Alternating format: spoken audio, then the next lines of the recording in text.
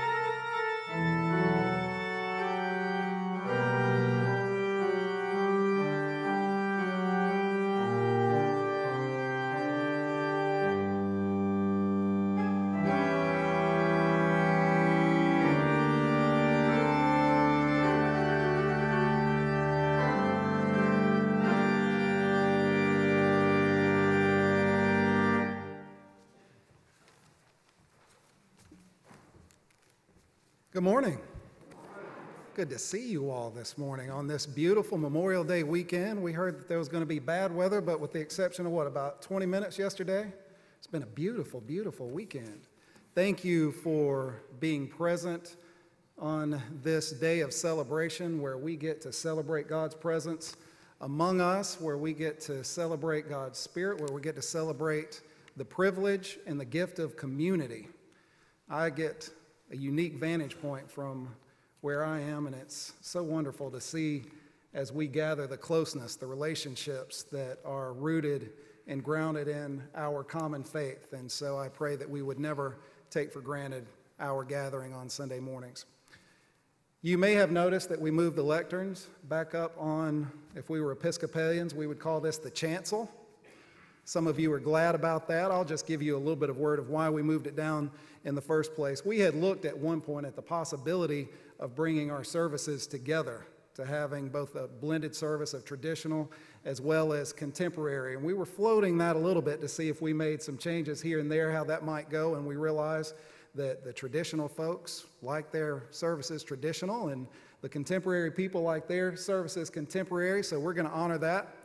We're going to try something a little bit different. This is not about me, this is about you all because you know that I am perfectly comfortable with one of those microphones on and down on the floor, but in honor of this traditional service, I'm going to start speaking from this lectern. I'll be here to honor your traditions and customs. And I also know that for some of you, you, it's been mentioned to me, you get distracted when I go from side to side on the chancel. So I'll be here from this point forward, and some of you will celebrate that. And again, this is to honor you. As far as announcements that are concerned beyond what's printed in your bulletin, I would just share with you um, that Beth is away this week taking a much needed vacation. Uh, she'll be back about halfway through the week, but she's gone this Sunday. And Deborah Roebuck is filling in for her, and she has been practicing di- diligently. And she is a gift to this community in so many ways and does so many things. I don't know anyone who knows the Bible better than Deborah, do you? No one. In the history of Christianity, someone who is just devoted to her faith, and this is another expression of it. So we are grateful for her. Uh, Jillian is away as well. Um, start sometimes she refers to him as little Robert. There's nothing little about her son Robert. And they're in a baseball tournament this week. There will be a number of them, but this was one she had an opportunity to go of. And she'll actually sacrifice. It comes with this vocation, but there'll be others that she won't be able to, to attend, but we're glad that she's able to do that this week.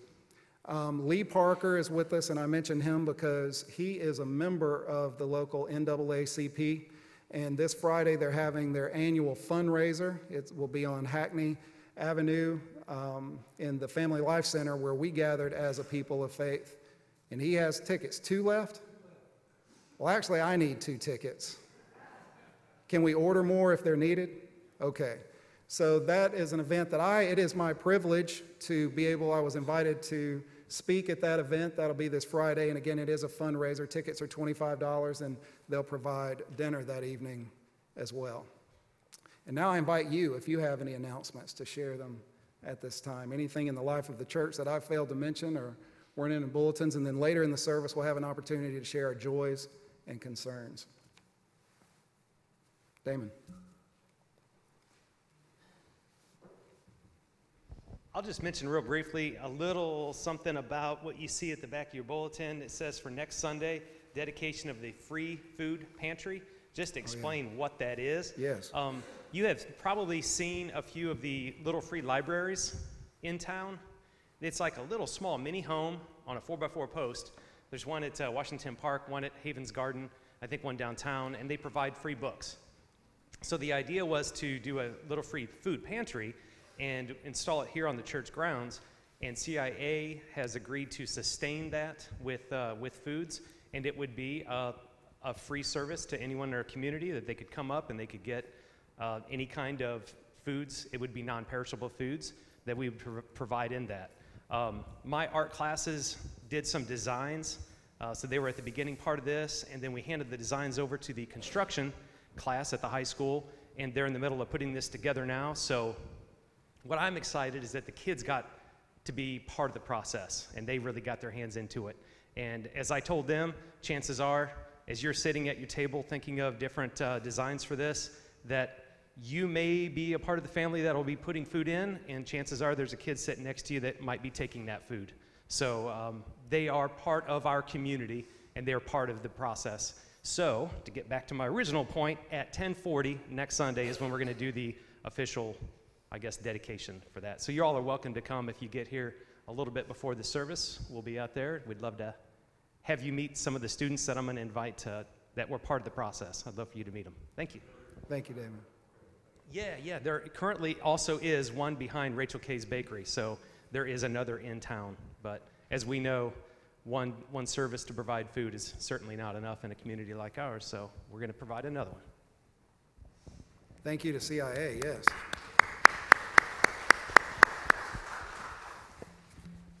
Other announcements? All right, well, I invite you to stand as you're able. Greet a neighbor close by, and then we will begin with our opening hymn.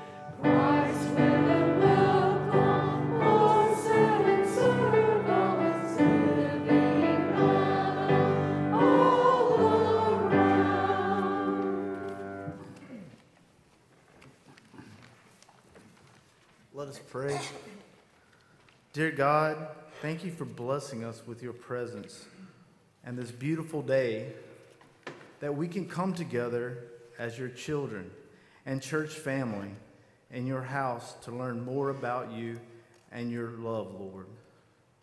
Guide us and instill in us the knowledge and the peace and the love of your word. Bless the ones that could not be here today, Lord. Lay your loving hands, healing hands on the ones that are sick. Comfort them and guide them and give them peace and love.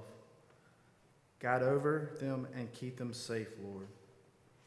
Also, bless the poor and less fortunate. Wrap your loving arms around them, Lord. Instill in us the power to show them love as well and invite them into your house. Show us the way to welcome them into your loving arms because everyone is welcome in your house, Lord. As we worship today, guide us and watch over us, Lord. And in your holy name, we lovingly pray. Amen. You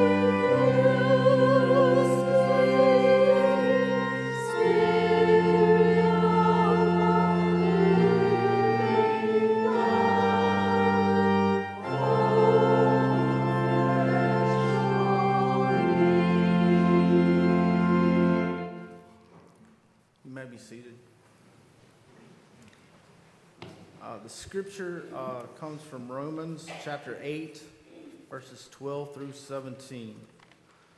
So then, brothers and sisters, we are debtors not to the flesh to live according to the flesh. For if you live according to the flesh, you will die. But if by the Spirit you put to death the deeds of the body, you will live. For all who are led by the Spirit of God are children of God. For you did not receive a spirit of slavery to fall back into fear, but you have received a spirit of adoption. When we cry, Abba, Father, it is that very spirit bearing witness with our spirit that we are children of God. And if children, then heirs, heirs of God, and joint heirs with Christ. If in fact we suffer with him, so that we may also be glorified with him. These are the word of God for the people of God.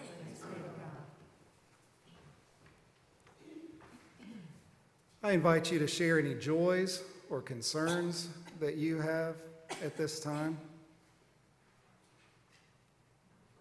We certainly want to keep Kim Woolard in our prayers. As you might imagine, she and Mitch celebrated many, many years of a, an extraordinary relationship, and this is a difficult time for anyone who's gone through that number of years in that kind of close relationship. You can imagine. I know that she appreciates cards, and for those of you who are closest with their visits, are very important. Any other concerns? Michael is recovering well. Allie Good. We had a chance to visit with him this week, and I was thinking, my goodness, his spirits were so high that I, I just was honestly in awe of that, his profound faith and his spirituality. I talk about how joy is something that transcends happiness because happiness is related to circumstances. And being at Ridgewood, and several of you have been there, you know that that's anything but a perfect circumstance. But his spirit and his joy and his sense of humor, like he has, like no other, was all present. So we celebrate that. We want to keep Doug in our prayers. He'll be undergoing surgery next week. And we'll pray for a speedy recovery and that those caregivers will be inspired by the Spirit of God. They are extraordinarily gifted in what they do. And I use that word gifted intentionally. And we know that caregivers are an extension of God's care, and God is the great caregiver. So we will keep you in our prayers, Doug. Any others that you all might have? Any other joys? Carolyn Parsons will be having surgery Wednesday.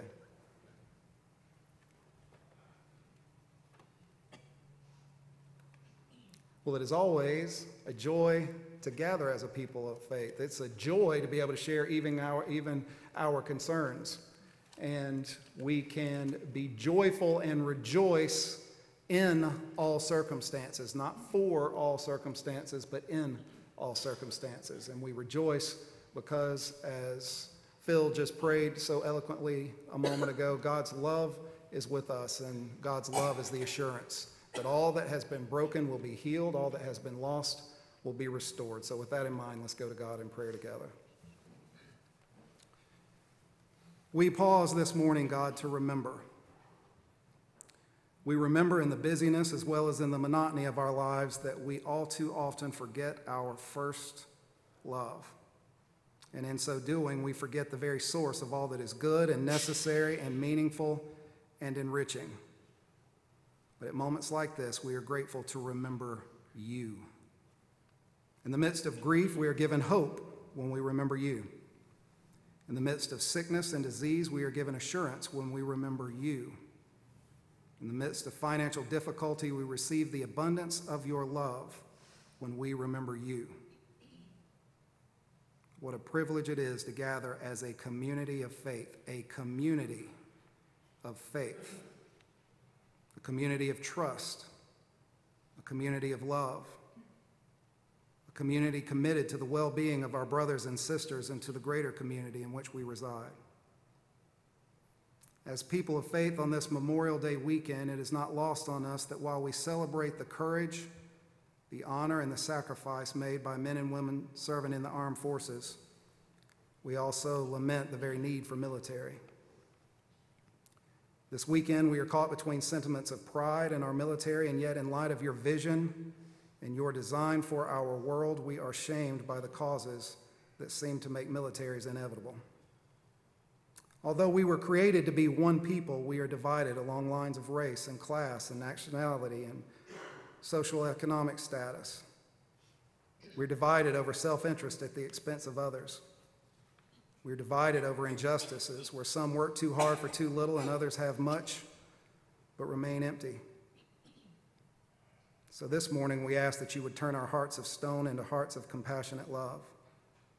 We ask that you would open our eyes to the ways that we are complicit in the suffering of others, the ways in which we are complicit in the causes of division and fractured community. And having opened our eyes through the power of your Holy Spirit, give us the resolve to repent to turn away from the sin that separates us and turn toward your relationship restoring and redemptive love. On this Memorial Day weekend, let us recommit ourselves to making of this world a new heaven and a new earth where everyone is treated with dignity and respect and with the infinite worth that they possess simply by virtue of being created in your image. The words of the great prophet Isaiah let us beat our swords into plowshares and our spears into pruning hooks let our nation no more lift up sword against nation, and may we study war no more. And in the words of the greatest prophet and teacher this world has ever known, and taken from the most famous sermon ever recorded, may we love our enemies and pray for those who persecute us. And as we pray the prayer he taught us, place within us the will to fulfill his prayer. Our Father, who art in heaven, hallowed be thy name Thy kingdom come, thy will be done, on earth as it is in heaven. Give us this day our daily bread, us our trespasses, as we forgive those who trespass against us. And lead us not into temptation, but deliver us from evil. For thine is the kingdom, and the power, and the glory forever.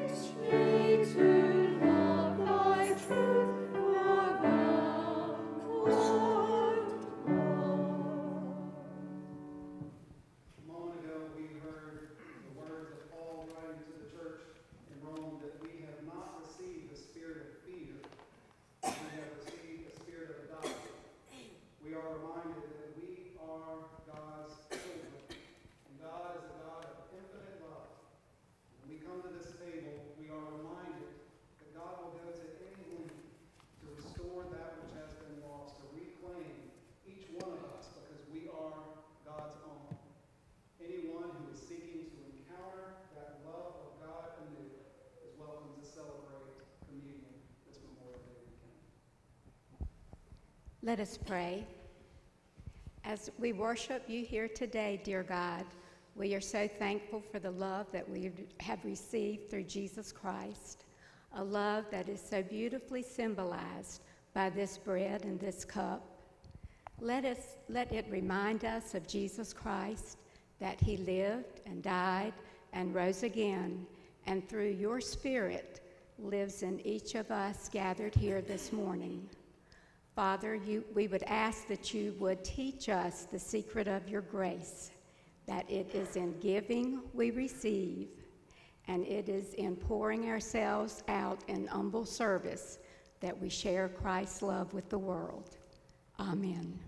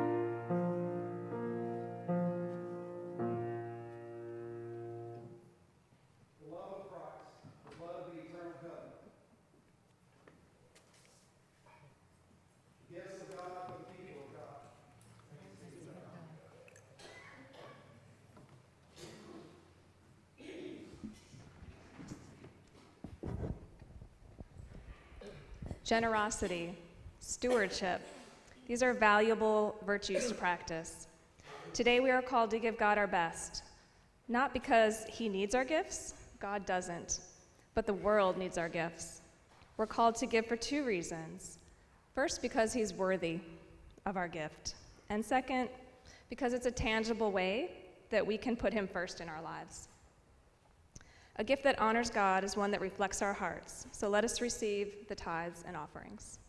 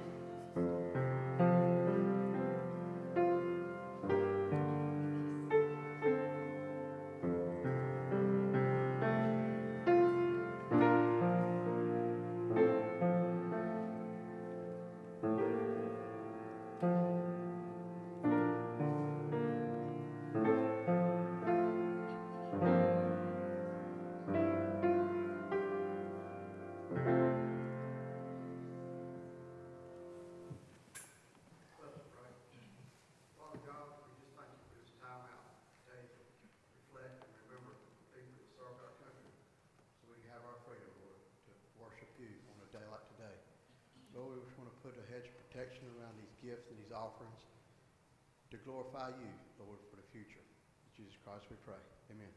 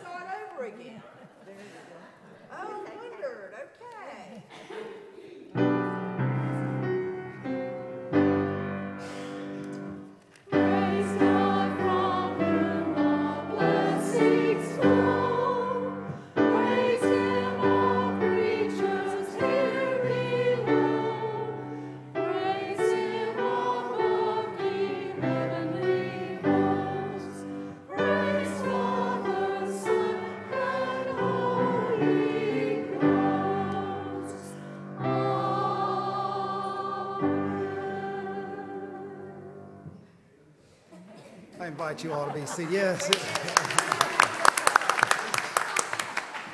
I tell you, whether we were, we are having fun. We had a divine appointment with our traditional service one way or another, did we not? And we are so grateful that God's Spirit shows up in any number of ways through traditional and contemporary and somewhat contemporary and somewhat traditional. And the important part is that God shows up. Amen? Amen. And God is present with us this morning. We can be assured of that. We're going to read one of the more familiar passages, particularly the latter part of the scripture reading for this morning. The reading comes from the Gospel according to St. John. We're reading from the third chapter. This is an important reading for a number of reasons, and we look forward to diving into that after our special music in just a few moments. Now, there was a Pharisee, a person who was a strict adherent to the law, a very pious, a very sincere, a very dedicated person of faith named Nicodemus. And he was a leader of the Jews. He came to Jesus by night and said to him, Rabbi, we know that you are a teacher who has come from God, for no one can do these signs that you do apart from the presence of God. And interestingly, Jesus answered him, Very truly I tell you, no one can see the kingdom of God without being born from above. Nicodemus said to him, How can anyone be born after, after having grown old? Can one enter a second time into the mother's womb and be born? Jesus answered him, Very truly, I tell you, no one can enter the kingdom of God without being born of water and spirit. What is born of the flesh is flesh, and what is born of the spirit is spirit. Do not be astonished that I said to you, You must be born from above.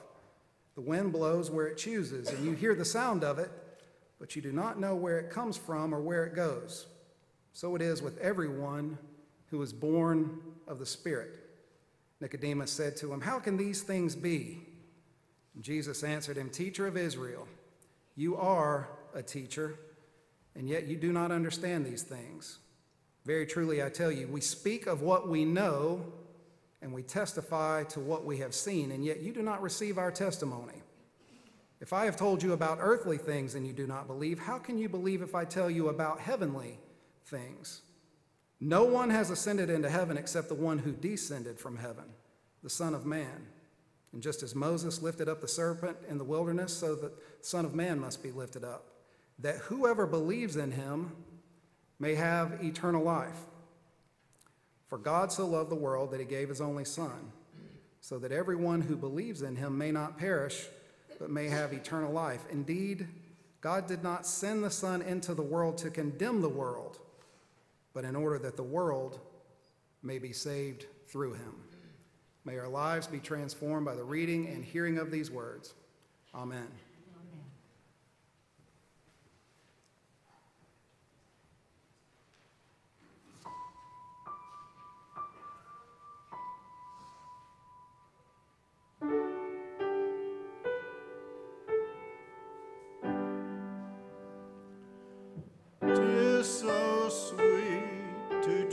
Trust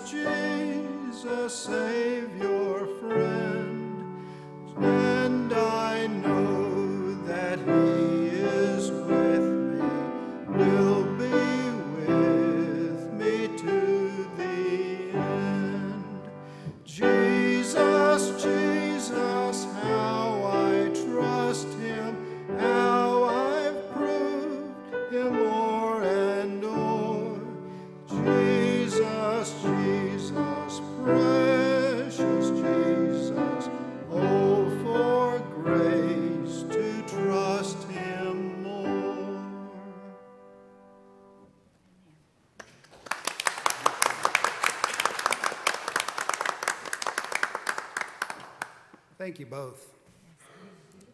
We are continuing, this is the second part of what will be a three part series. Unfortunately, or for some of you, fortunately, you all won't hear the third part of this message next week. I would remind you that our congregational care minister, Robert Caton, will be here. He's going to be coming on the fourth Sunday of each month, and because he had had, a conflict uh, earlier, he was not going to be able to be here this month, so he's going to come the first week in June, which is next Sunday. So we'll look forward to his presence and the message that he will deliver. And you'll discover that he and I, I believe, will complement one another well. By that, I don't mean we're a mutual admiration society. I mean, he makes up for some of uh, my deficiency. I don't know how I can compliment him in that regard, but I know that he is gifted and he has uh, a style and a presentation that is unique to him in the way that God has enriched his life and called him to share the message. But we are continuing with our series on one agenda, one agenda. For those of you who have not been with us and have no idea what we're talking about, we recognized some months ago that we are called to be an evangelistic presence in this community. What does that mean? We are called to share in word and deed the good news of Jesus' message. And we wanted to identify just what was Jesus concerned about. What was his preoccupation? And we saw that just a few moments ago in the writing according to the gospel according to St. John. Nicodemus comes to him at night and says to him that we know that you are a teacher that comes from God because you couldn't do these signs if God's presence was not with you. And immediately, Jesus begins talking about the kingdom of God. And again, Nicodemus tries to clarify about how we can be born again. And again, Jesus begins to talk about the kingdom of God, the kingdom of God, the reign of God, to use contemporary language, the way of God, the will of God, the law of God, the rule of God, how God operates. That was what Jesus was concerned about. And we ought to take pause because Nicodemus was a Pharisee. He was someone who was dedicated, committed to his faith. He was a person of sincerity. He was a leader. He had learned a great deal, and he had become a teacher himself of the people of Israel, as Jesus acknowledged. And yet, he couldn't quite grasp what was at the heart of God, what was the primary concern of God. If we are not careful, those things that were meant to be means to an end become an end in themselves. Our traditions, our rituals, our habits, our practices, those are not the ends in themselves. Those are a means to an end, and we have to be extremely careful about that. We recognize that we are called to share the message of Jesus, to become like Jesus. We saw last week that our mission statement as the Christian Church Disciples of Christ is to be and to share the good news. Think about that for a moment.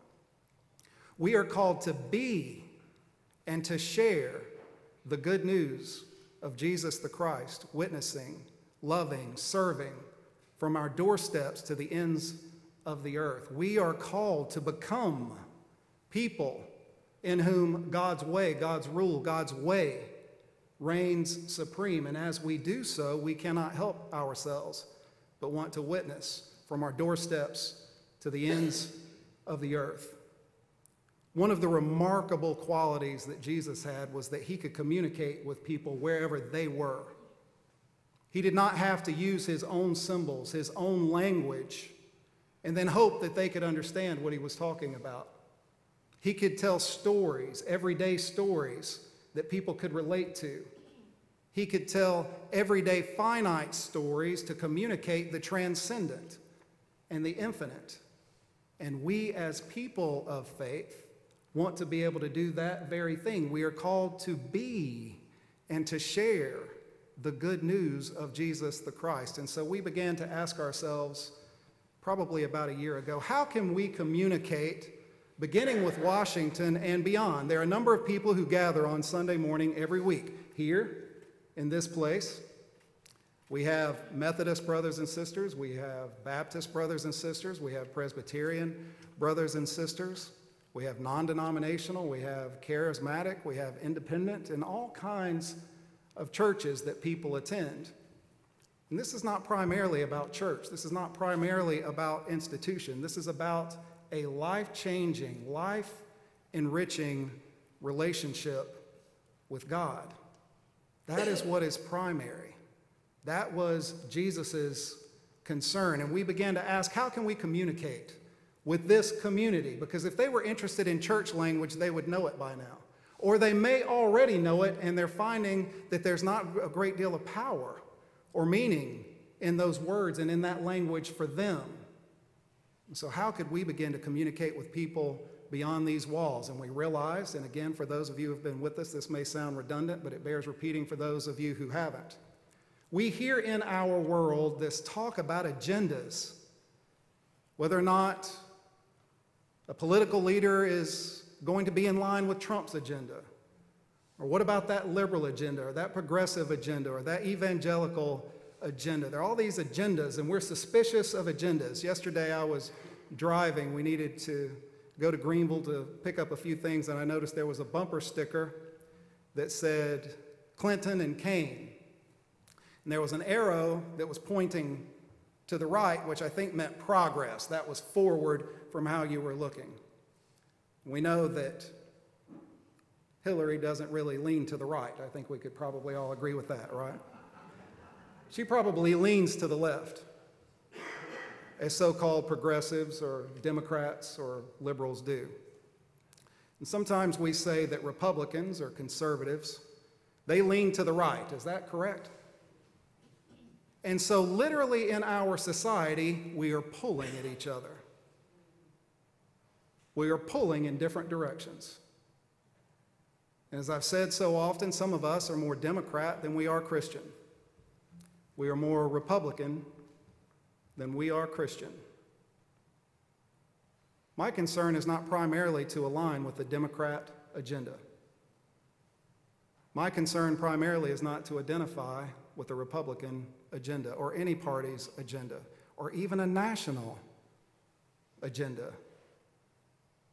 If we want to be great, if there's a place in our history where we were great, we're great when we align ourselves with God's agenda, right?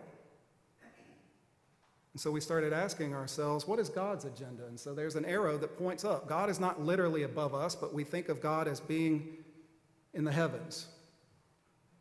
We want our agenda to be God's agenda. And at the center of that agenda is the cross cruciform, sacrificial love.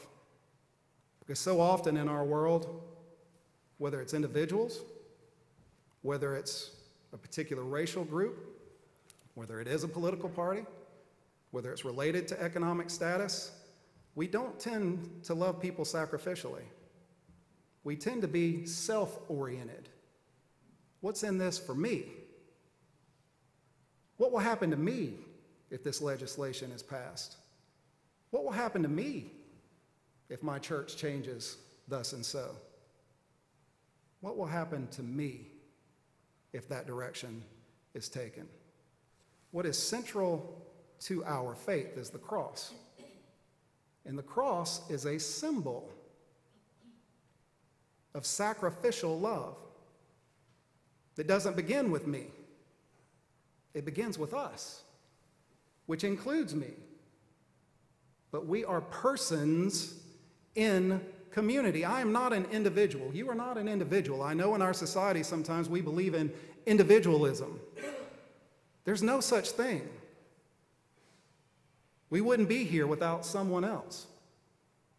We were created for community. Neither the community defines me, but there is no me apart from the community, and God designed it that way. We were created for relationship with God, we were created for relationship with one another. The very purpose for our being is for relationship with one another and relationship with God. And we're better able to do that as we grow in our spirituality, as we grow in the Holy Spirit. That is why we were created, to become the people that we were created to be. We were created in the image of God.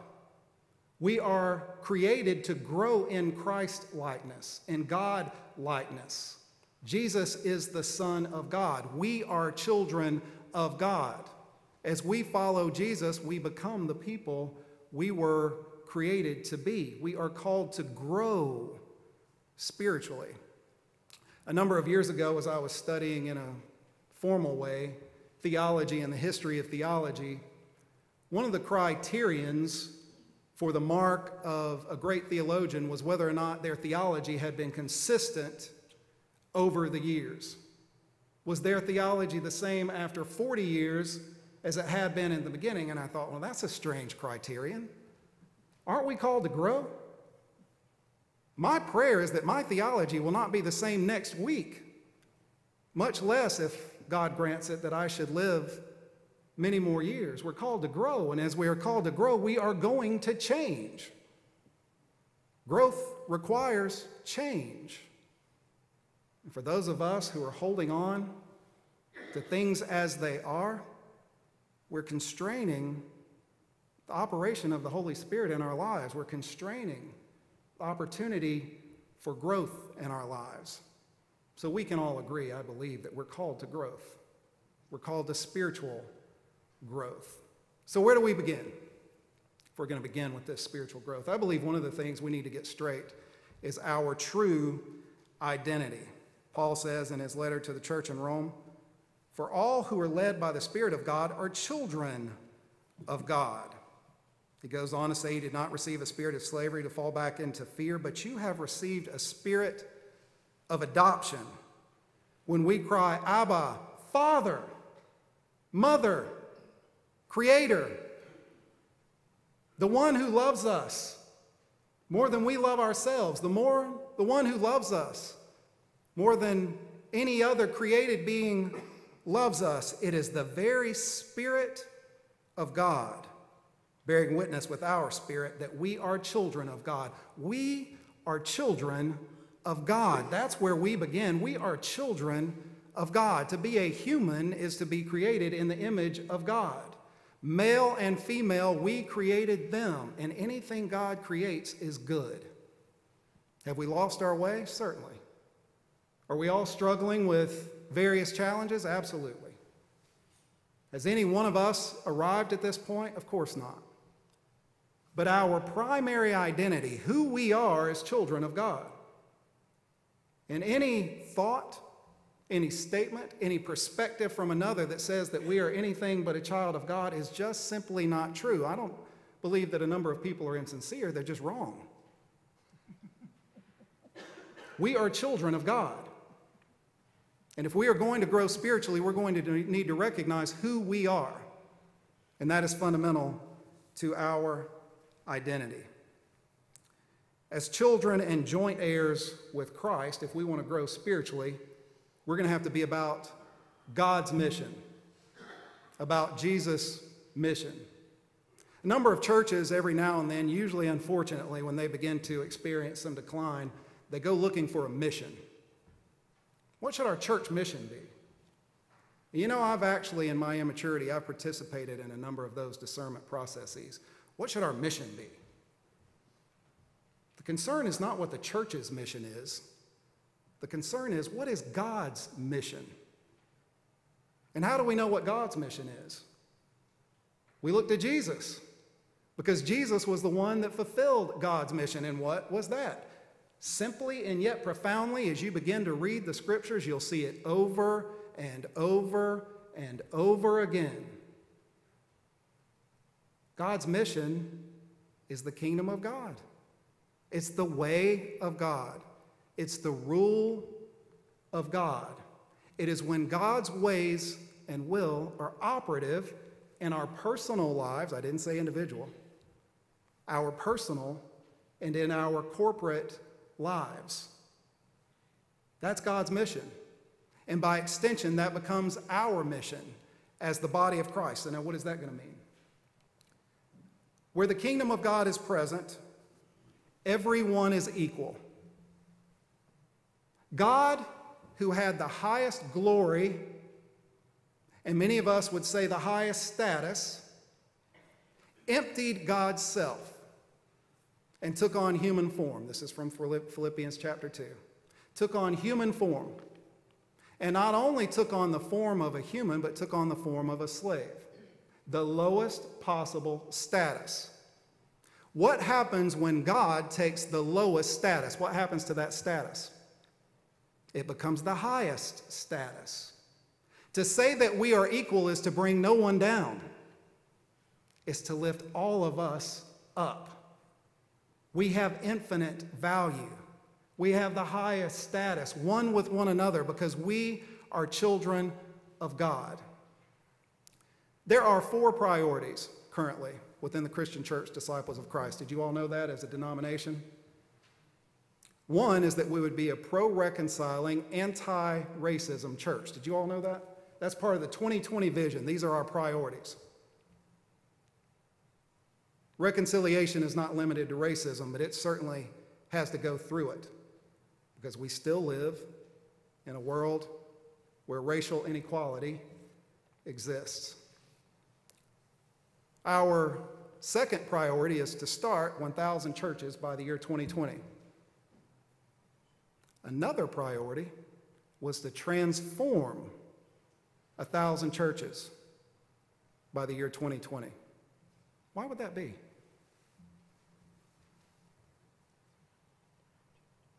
So perhaps we could have a better witness. Perhaps we could continue to grow. Perhaps we would have the vitality, the life abundant that God desires for us. The fourth priority was to prepare ministers for those kinds of ministries. One of the things we have to do, we didn't realize it. Sometimes we're more American than we are Christian. Sometimes our architecture reflects it. We place clergy lifted up. That has a functional purpose, but if we're not careful, it can have another purpose to elevate the people who are in the position that I happen to be in at this point, which is primarily one of teacher, by the way, from the biblical model. I've been here two and a half years now and am just now getting comfortable with visiting people. Do you want to know why? Because the first two and a half years I was seen as senior minister, pastor, preacher, my minister, placing me here and everyone else here. In the kingdom of God, we are all equal.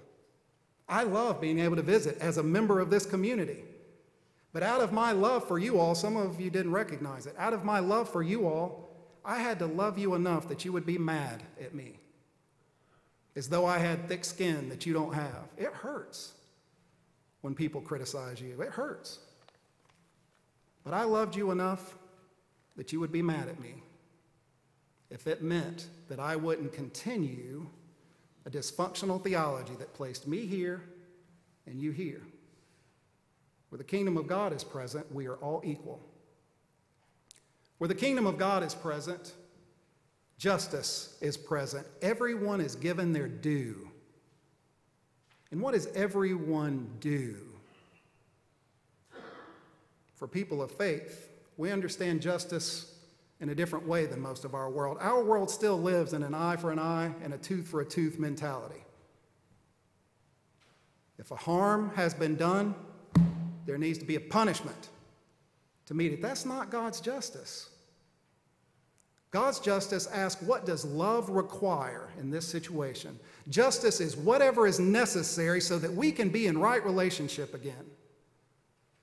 Jesus was willing to go to the cross to reveal God's justice. We misinterpret that sometimes that God needed a punishment. God didn't need a punishment. God needed us to be in right relationship, so God would say, I will face your persecution. I'll face your mockery. I'll face your most heinous capital punishment and still say, I love you.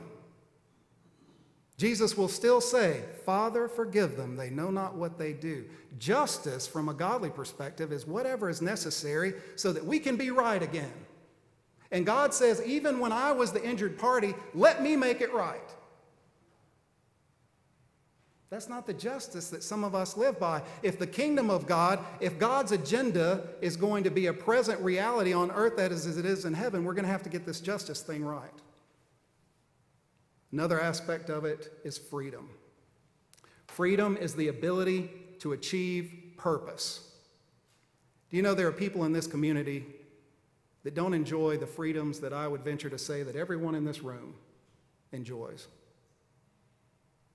There are children who go home food insecure. There are people that are going to after school programs, thank God, because there may not be a meal when they get home. Someone was sharing with me that we take for granted they're family members, they're all having to use the same towel. Sometimes there's not a parent at home, and it's not because they're neglectful. They're working too hard for too little. They're trying to make ends meet, and there's not enough resources to make them meet. And it's not because they're not motivated, it's not because they didn't follow the rules. They're not free because they can't achieve their purposes.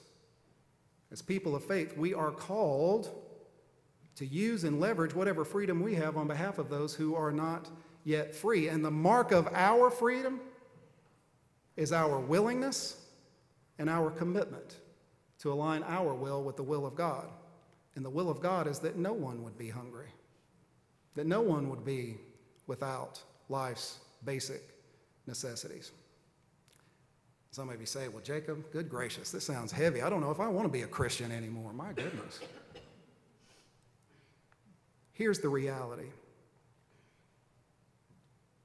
Paul said it in pretty stark words.